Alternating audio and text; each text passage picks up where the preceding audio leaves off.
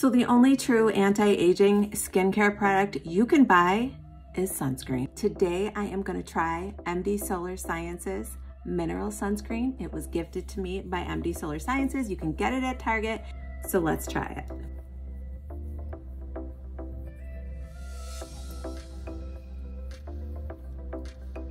I don't even think I need foundation. I am not kidding you. This tinted sunscreen says that it's for all skin types. You guys, I have olive skin. That never works on me. My skin feels so soft and velvety. They also gifted me an SPF 30 lip balm. And let's see if I like this very neutral color. It's called Spice.